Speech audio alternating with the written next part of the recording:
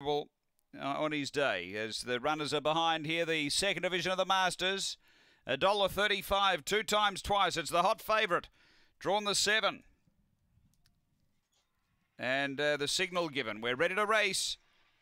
This is uh, race ten at Angle Park.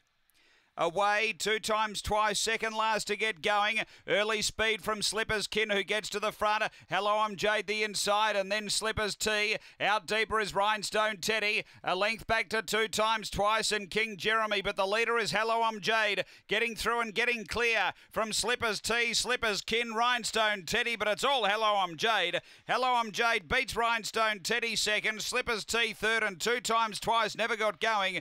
Uh, then Slippers Kin and King Jeremy. The run here is around 22 and 20.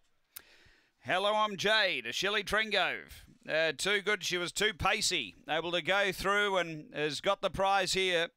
Number nine, Rhinestone Teddy. Uh, he ran another solid race into second spot. And uh, number four, Slippers T, uh, was in third. So nine the winner for Shelley Trengove. Hello, I'm Jade.